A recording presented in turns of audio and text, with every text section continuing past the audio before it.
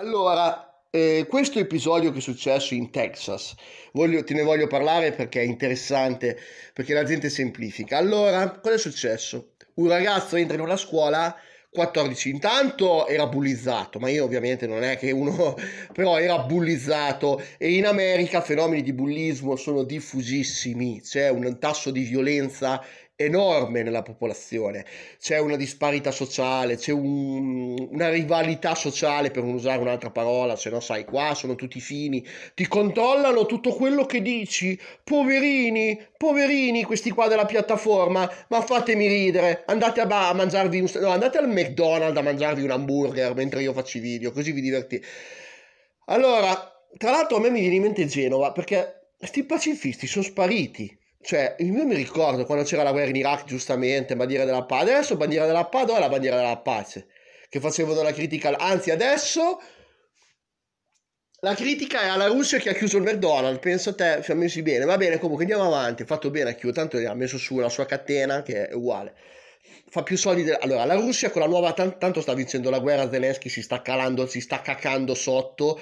Se te senti le ultime interviste, trattiamo, facciamo, trema quando parla. L'unica è quella, quella, quella, quella signorina dell'Europa, ma quella con gli occhiali, lì, quella bionda, ma poverina dichiarazioni al vuoto. Se vai a vedere la cartina geografica, l'ha detto giustamente anche un, un esperto, non mi viene il nome quello che va da Vespa. Oh, vabbè, comunque. Ovviamente sto divagando come al solito. Parliamo di Fai. Ha detto che se non gli danno il Donbass è una tragedia immane non si sa dove si va a finire. Comunque, lui è un pronato, questo signore. Adesso non mi viene il nome, magari in descrizione te lo ficco. Allora, perché succede in America sta cosa? Allora, perché loro pensano, gli americani, che la vita sia un videogame. Cioè, innanzitutto il, il, il, il il presidente, eh, il presidente americano Joe Biden ha detto ah dovremmo risolvere il problema delle armi come se bullying a Columbine ve lo ricordate? In due sono entrati in due. E qual è il problema delle armi ogni mese c'è una strada ogni mese io l'avevo detto anche nel video il problema delle scuole americane. Ed è, si è verificato subito dopo. Primo poi abbiamo un altro problema. Io guardate, te guardi i video di guerra vera, Fallujah, che è stata la, la tragedia più immane, no? Fallujah, ci sono i soldati, loro pensano che sia un videogame.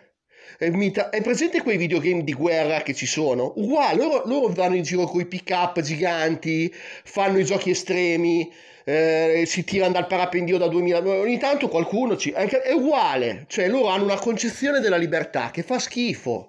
Come fai a dare alla gente dei bazooka? È chiaro che succedono le strade, ma poi queste sono quelle che vanno sui giornali. Ma ogni giorno ce n'è uno, un pazzo che spara in giro. Perché c'è un tasso di violenza, c'è un tasso di criminalità diffusa, disparità sociale, disuguaglianza sociale, che esiste solo negli Stati Uniti, la più grande democrazia del mondo. C'è un tasso di violenza. Poi loro hanno creato la disuguaglianza.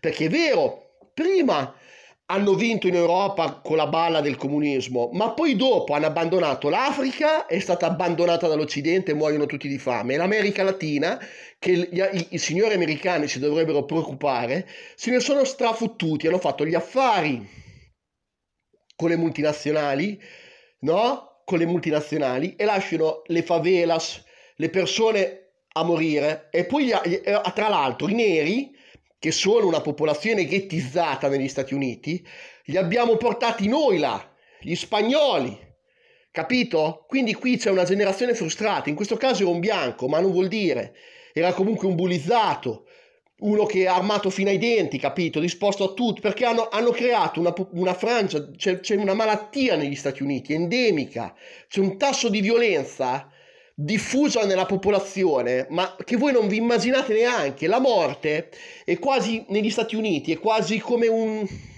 un sacrificio, capito? Cioè, ci sono delle sette dove c'è il culto della morte, ok? Ma anche l'americano, quando si immola per la bandiera, hanno questo culto nazionalista che fa, fa, fa, fa schifo, no? Fa, cacare, fa veramente cacare. Mi ricorda un po' il nazionalismo che avevamo noi in Italia negli anni venti, no? Dove si andava in guerra, mh, mm, saluti, saluti, non torniamo più. Una roba del genere, capito? Quindi è una cosa cult- della cultura americana. È vero le lobby, de- poi le lobby delle armi li hanno scorreggiate.